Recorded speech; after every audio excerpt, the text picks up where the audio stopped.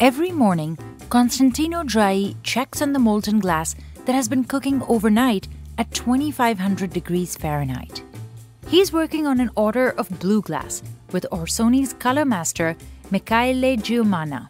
They add powdered coloring to the molten glass and start mixing. They take out a small sample and wait for the color to reveal. Michele breaks the slab in small pieces and dips it in cold water. If the color is not exactly right, they toss the pieces back into the furnace and start over. It's a long process of trial and error that can take five times to get right. When they eventually do, this 50 year old machine flattens it into slabs less than half an inch thick. The glass then sits in a kiln for six hours to harden. Finally, it goes to Orsoni's legendary color library.